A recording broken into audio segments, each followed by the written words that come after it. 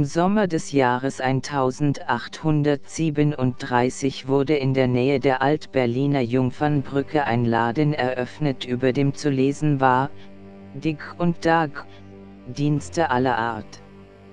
Vom Knopf annähen bis zum Entrosten des Nagelbrettes für die Erben eines Verkehrs reichten die Wünsche. Schnell waren die Diggedags überall beliebt. Besonders dicke Freundschaft bestand zu ihrem Nachbarn, dem Sattlermeister August Pickel und dem Guckkastenmann, der täglich mit seiner Tochter an der Brücke die neuesten Bilder aus aller Welt zeigte. Jetzt ist es früh am Morgen, und das geschäftige Leben und Treiben an und auf der Spree nimmt seinen Anfang.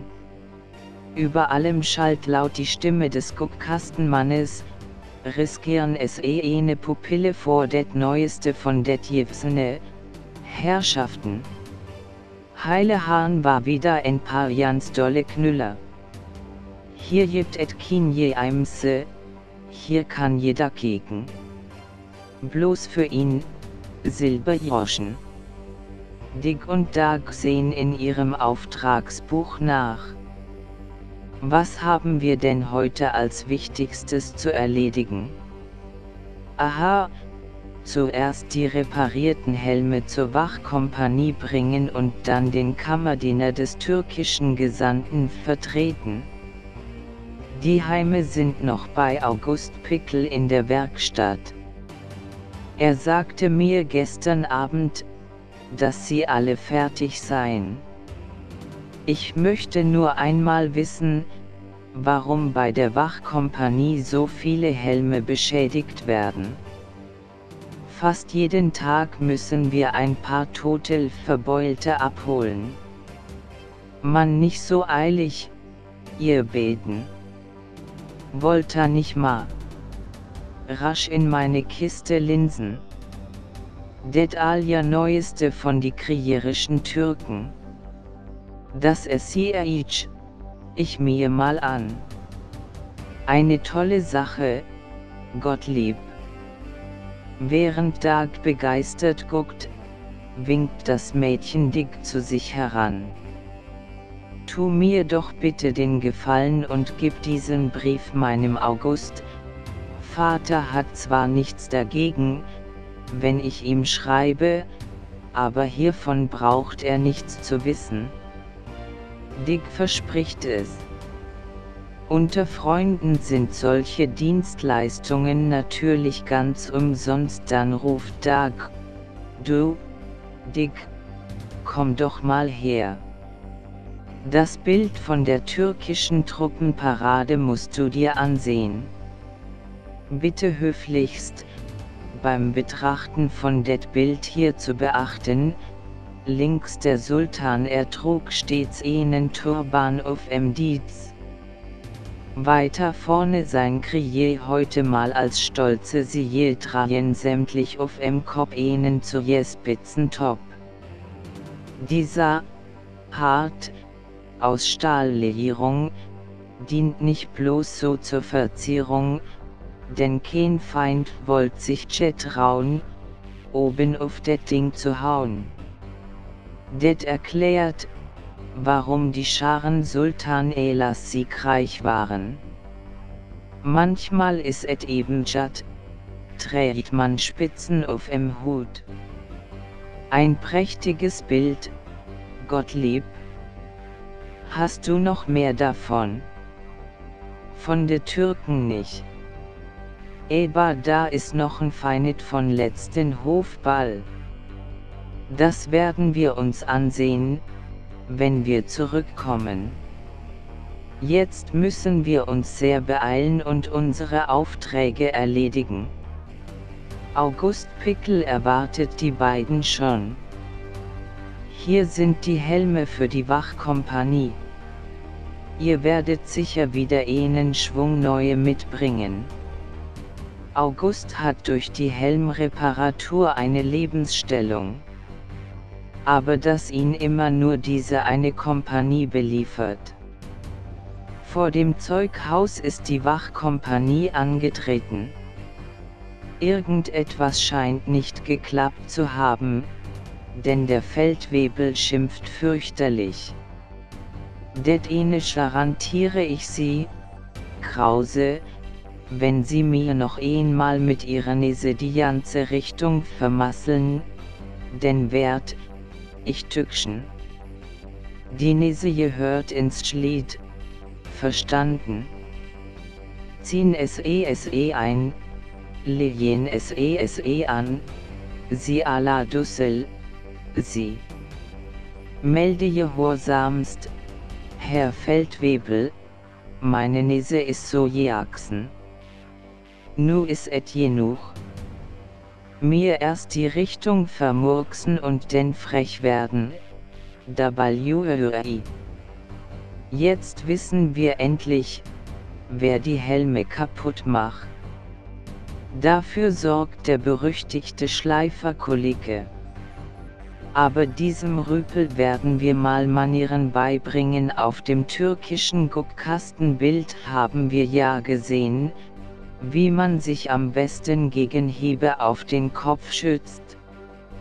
Der Feldwebel ist gerade dabei, die Helme weiterer Soldaten zusammenzudreschen, weil er an ihrer Haltung etwas auszusetzen hat, als er Dick laut den verhassten Spitznamen Schleiferkollege rufen hört. Wutschnaubend stürzt er auf Dick zu, der sich wohlweislich den mit einem Nagel bewehrten Helm aufgestülpt hat, Schleiferkollege. Ruf Dick noch einmal.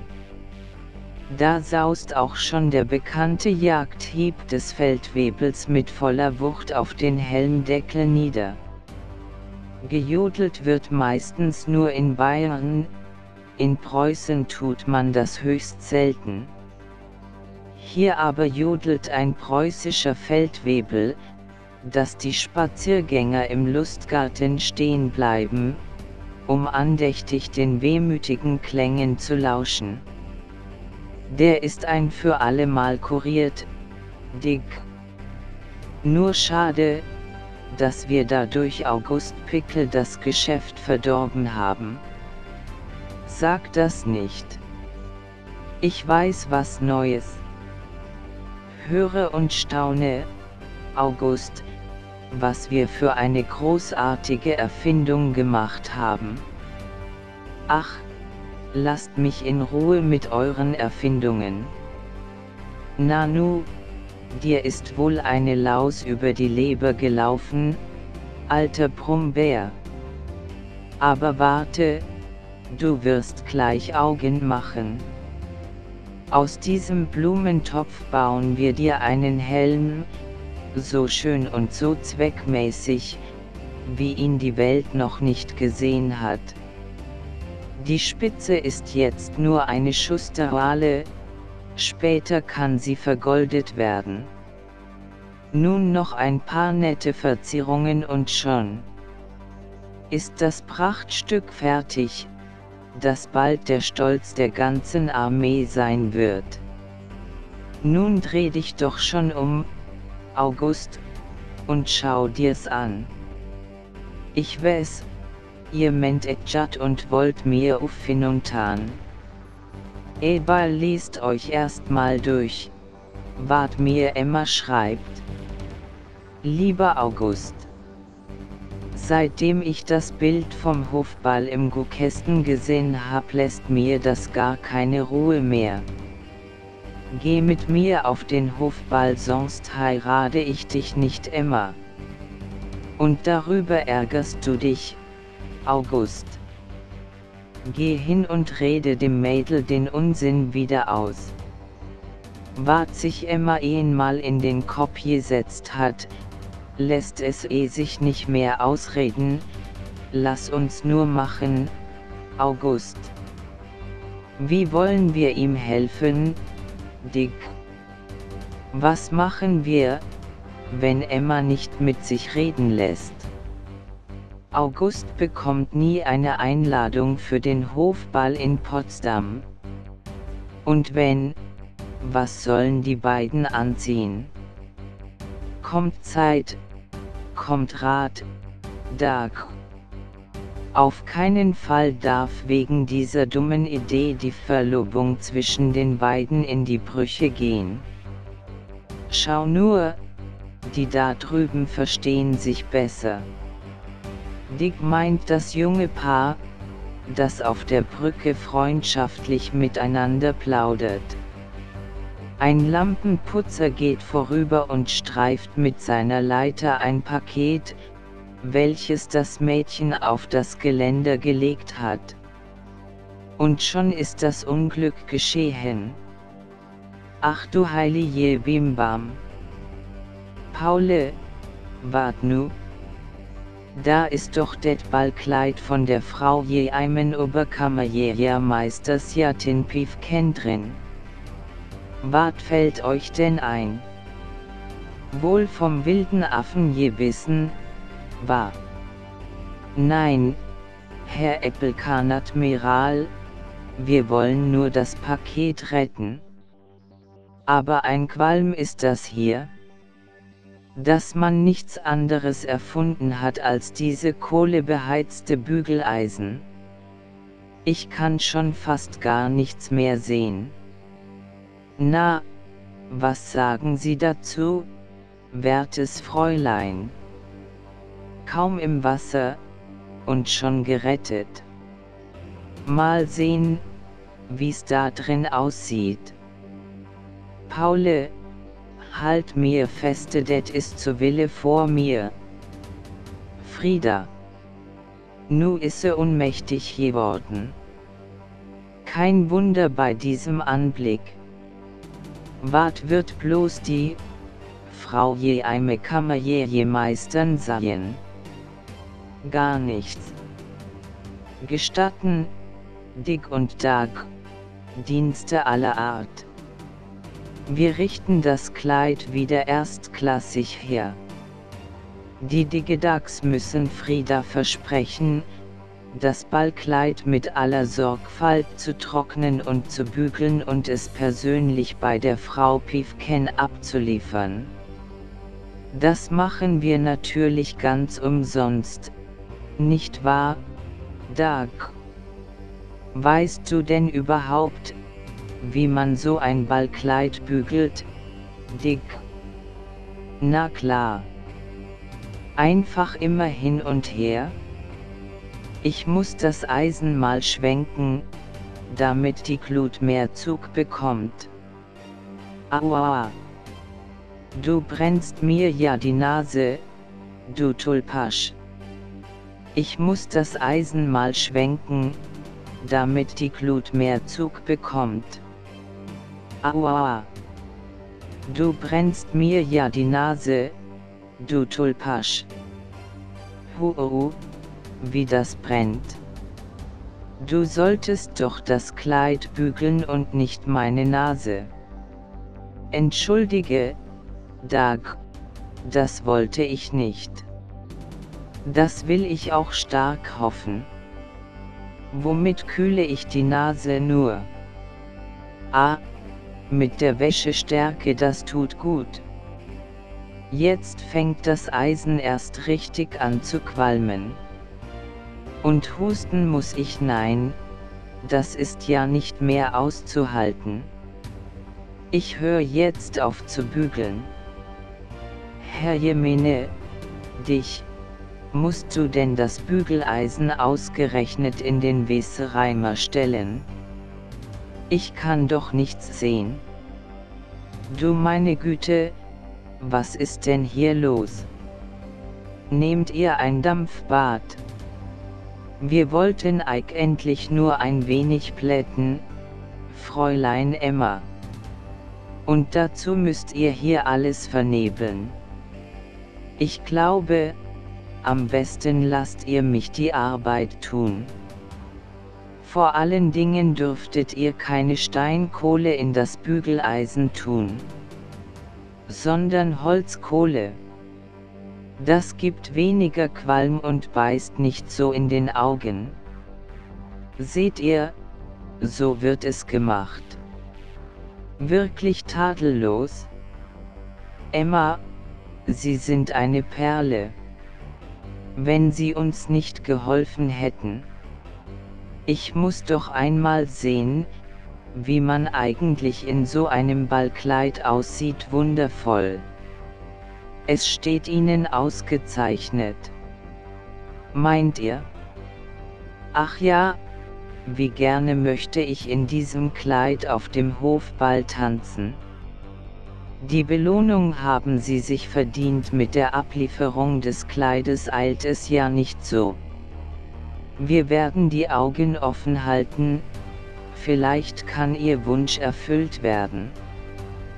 Die Digedax haben es jetzt eilig, denn sie müssen zum türkischen Gesandten. Du hast den Mund wieder mal sehr voll genommen, Dick. Wie kannst du dem Mädchen solchen Floh ins Ohr setzen? Kommt Zeit, kommt Rat, sage ich. Wenig später melden sich die beiden in der türkischen Botschaft. Salam alaikum, erhabener Al-Ben Yusuf ibn Edna bei. Wir stehen zu Ihren Diensten. Bismillah Marrakesch, ich möchte mein Nagile mit Tumbak gestopft und die Schische mit frischem Wasser gefüllt haben. Einen Augenblick Geduld, Erhabener bei. Da müssen wir erst einmal im türkischen Wörterbuch nachsehen. Aha, Nagile heißt Wasserpfeife, Tumbuk ist persischer Tabak, und die Schische ist der Wasserbehälter des Nargiles. Eben wollen sich Dick und Dag an die Arbeit machen, als ein Depeschenböte eintritt und dem bei zwei amtliche Schreiben übergibt. Hamdulillah, eine Einladung zum Hofball. Endlich kann ich einmal hingehen, sonst kam immer irgendetwas dazwischen. Und was ist das hier? Meine Rückberufung nach Konstantinopel auf Befehl des Sultans. Und zwar sofort. Beim Scheitern in der Jena, dann kann ich doch wieder nicht auf den Hofball gehen. In den Kamin mit den Einladungskarten, ich brauche sie nicht. Werfen Sie die Karten nicht fort, weiser Fürst des Morgenlandes. Bitte, schenken Sie sie uns. Was fällt euch ein, elendes Dienerpack? Bei Allah, haltet ihr euch etwa für würdig, den Gesandten der Hohen Pforte zu vertreten? Hinaus mit euch! So nahe am Ziel zu sein und abgewiesen zu werden ist bitter. Nicht den Mut verlieren, DAG. Da kommt Meister Schwarz, der kann uns sicher helfen. Ach bitte, Meister könnten Sie uns wohl mit hinauf aufs Dach nehmen. Warum denn nicht? Die Digedax erklären dem Schornsteinfegermeister in wenigen Worten, was sie vorhaben. Natürlich soll Emma mit August auf den Hofball gehen.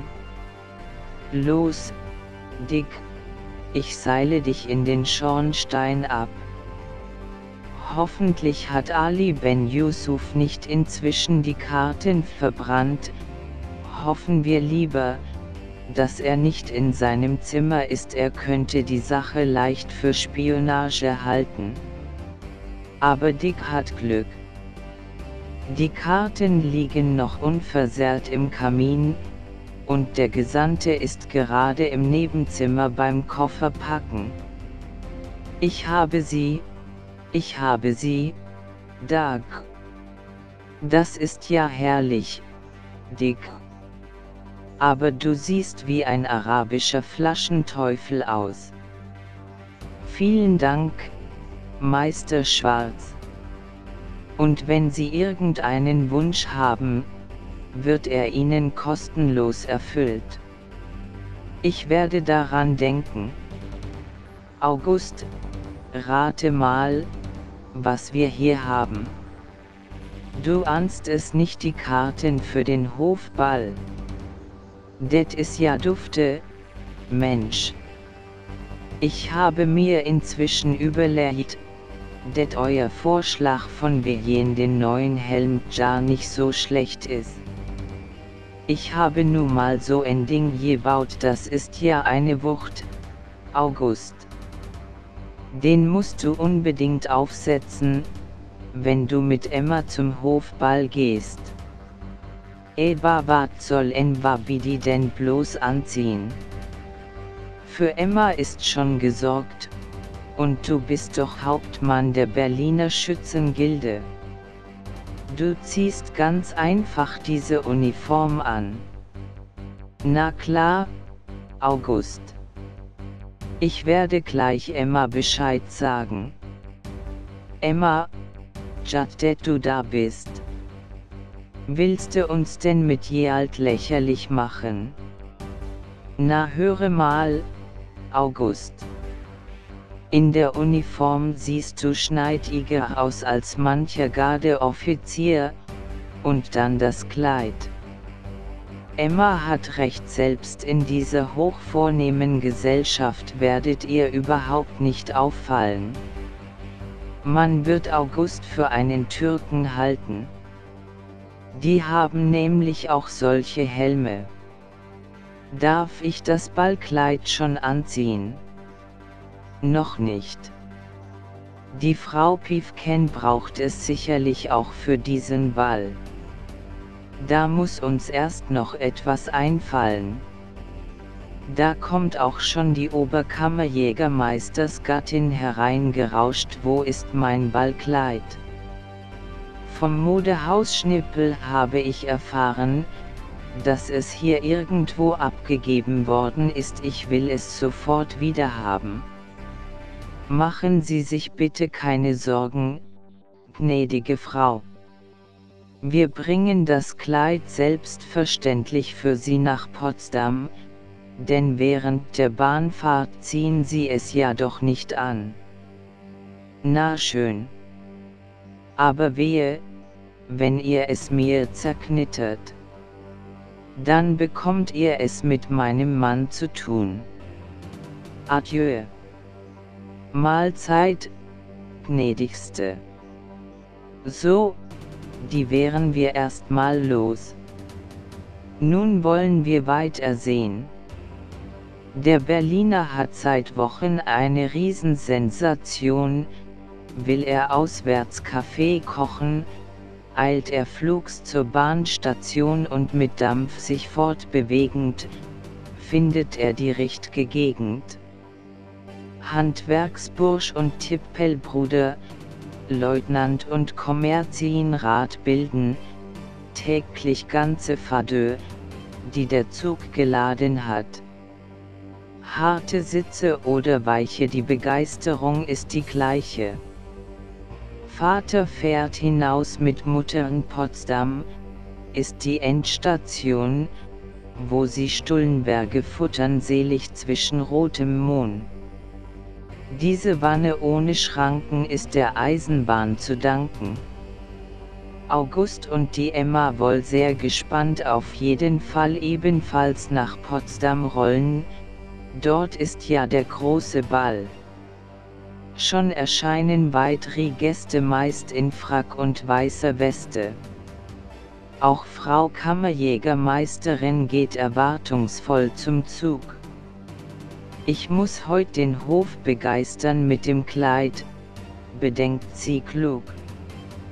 Soll mein Mann den Orden kriegen, muss ich über alle siegen. Doch kann sie noch gar nicht ahnen, was die Digedax-Volllist hinter ihrem Rücken planen, denn sie weiß nicht, was ihr wisst. Folglich wird sie voll Vertrauen auf Erfolg bei Hofe bauen. Die Frau Oberkammerjägermeisters Gattin fährt natürlich erster Klasse, während Dick und Dag aufs Wagendach hinauf müssen, weil es für sie keine anderen Plätze mehr gab. Habt ihr das Kleid? fragt sie. Strich selbstverständlich. In Potsdam bekommen sie es. Dann erscheint der Stationsvorsteher. Bitte die Türen schließen. Zurücktreten. Abfahrt. Der Zug rollt aus dem Potsdamer Bahnhof. Hör zu, Dag.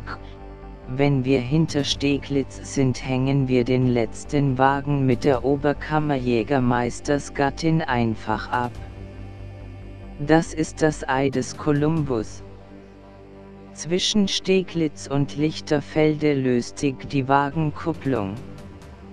Gleich ist's geschafft, Dag. Und nun lassen wir die Herrschaften sausen. Eigentlich ist das sehr hässlich von uns, Dick. Ich habe keine Gewissensbisse. Die Frau Pifken ist jede Woche auf einem Ball und schnort Orden für ihren Mann. Und immer trägt sie ein neues Kleid. Zu spät merkt die Frau Pifken, was los ist so eine Frechheit. Herr Lokomotivführer, sofort anhalten. Anhalten. Das Geschrei geht im Rattern der Räder unter. Dag beugt sich hinunter und ruft August und Emma zu, dass alles in Ordnung ist.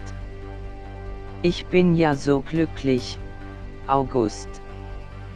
Wart hast hier jütziglich leicht knallt dir der Koffer auf die Frisur. Dahem was schon. Wenn ich nur den eisernen Zacken nicht auf den Hut gehabt hätte. Oh, lieber August, du bist ja ein richtiger Held. Für mir ist det ein Beweis, dat die Erfindung Chat ist. Und mein August wird durch sie gewiss berühmt werden. Na, wenn det ne gute Erfindung sein soll, will ich nicht mehr Krawut gehässen. Sehen es eh sich mal meinen Koffer an, sie Spitzkopf. Inzwischen hat die Oberkammerjägermeistersgattin den abgehängten Wagen verlassen und ist auf einen Bauernwagen umgestiegen, der zufällig des Weges kam. Bringen Sie Ihre Keule ein bisschen in Trab. Ich muss möglichst schnell nach Potsdam. Det ist zu Wille verlangt, Gnädigste. Erstens hab I die Sehne Windhunde vor mein Wagen, und zweitens fahr ich bloß bis Zehlendorf. Zum Glück für die Frau Piefken kommt der Gutsherr von Steglitz, der General Wrangel, in einer von zwei schlanken Rennern gezogenen Kalesche daher. Nanu, gnädige Frau reisen ja heute gar nicht standesgemäß. Ach, bester General, helfen Sie mir. Aber ihr wisst doch. Wat GSN passiert, gnädigste. Die Digedax haben mir einen üblen Streich gespielt. Der Wagen des Herrn von Wrenge rollt in Richtung Potsdam davon. Unterwegs malt Frau Piefken das Verhalten der Digedax in den schwärzesten Farben. Emmas Wunsch geht in Erfüllung Majestät ist sehr entzückt von der seidenen Umhüllung, die sie wahrhaftig köstlich schmückt. Augusts Helm erregt natürlich sein besonderes Augenwerk, er bewundert drum gebührlich des geschickten Meisters Werk. August schweigt indes betreten, als der König spricht, Ei, ei, ich vermute, Sie vertreten den Gesandten der Türkei. Dig und Dag wollen sich verstecken, ehe es dazu zu spät, sie befürchten voller Schrecken, dass sich ein Skandal entlädt. Et hat ja kein Zweck zu schwindeln, Majestät. Ich bin nicht der Tür XCHE-Jesante, sondern der Sattlermeister August Pickel gleich an die Jungfernbrücke. Den Helm HCK mal selber je bastelt. Interessant. Der militärische Wert dieser Kopfbedeckung scheint mir nicht gering zu sein. Ich will gleich einmal eine Probe aufs Exempel machen. Man bringe mir einen Holzhammer mittleren Kalibers. Die Furchtlosigkeit meiner Soldaten wird beträchtlich wachsen, wenn sie sich im Kampfgewühl auch von oben geschützt wissen. Das unbewehrte Haupt war schon immer die Achillesferse des preußischen Heeres. Halten Sie mal einen Augenblick still, Herr Pickel. Und nun mit aller Kraft für König und Preußens Gloria. Hurra! Hurra! Hurra! Ich sehe, der Versuch ist gelungen. Dieser Heim wird in der Armee eingeführt, und sie stellen ihn her. Am Eingang des Saales entsteht Verwirrung. Eine Dame in gar nicht hofballmäßiger Aufmachung stößt die Diener beiseite und stürmt in den Saal. Da ist sie. kreischt die Oberkammerjägermeistersgattin, als sie Emma in ihrem Ballkleid erblickt verhaften sie sie, Majestät, sie sie ist eine Schwindlern. Dick und Dag, die oben auf dem Thronhimmel liegen, sind bestürzt. Was wird der König tun? Schließlich ist die Frau Piefken eine Dame der Gesellschaft und Emma nur die Tochter eines Guckkastenmannes. Wir müssen hinunter und alles gestehen, Dag. Dazu kommt es nicht Dick und Dag haben sich zu nahe an den Rand des Thronhimmels gewagt, der für solch eine Belastung nicht vorgesehen ist. Hilfe, der preußische Thron wankt. Wer aber verhindert den vollständigen Zusammenbruch des stolzen Gebildes? August Pickel, der in dem allgemeinen Durcheinander aufrecht und stolz wie eine deutsche Eiche stehen bleibt und die herniederstürzende Last mit der Helmspitze auffängt. Der König spendet ihm großes Lob. Solche Männer wie Sie, August Pickel, sind die wahrhaften Pfeiler des preußischen Staates. Dieser Orden sei der Dank für ihre rettende Tat ihre Erfindung aber wird als die Pickelhaube in die Geschichte eingehen. Schwierige Wetten sind die Digedax eingegangen. Die erste gegen den wettfreudigen Vertreter der englischen Lokomotivfabrik Stepp Hansen gewinnen sie mit einem Trick. Ob es ihnen aber auch gelingen wird, eine schlagfertige Berliner Marktfrau für kurze Zeit sprachlos zu machen. Davon und von der Wettfahrt zweier Lokomotiven berichtet das nächste Kapitel.